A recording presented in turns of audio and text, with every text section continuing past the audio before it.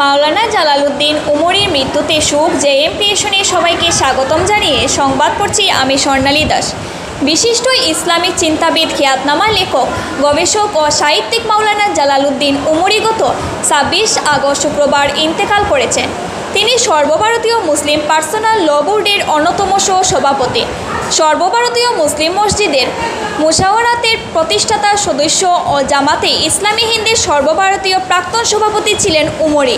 অনেক গ্রন্থ প্রণয়ন করেছেন। তমধ্যে ইসলামে নারীর অধিকার ও দায়িত্ব সম্বন্ধে গবেষণামূলক গ্রন্থও রয়েছে।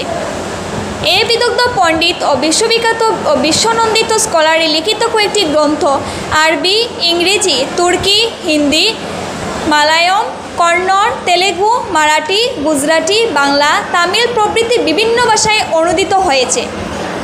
তার মৃত্যুতে গভীর শোক ব্যক্ত করেছেন উত্তর পূর্ব ভারতের মহামান্য আমিরে শরীয়ত মাওলানা ইউসুফ আলী সাহেব।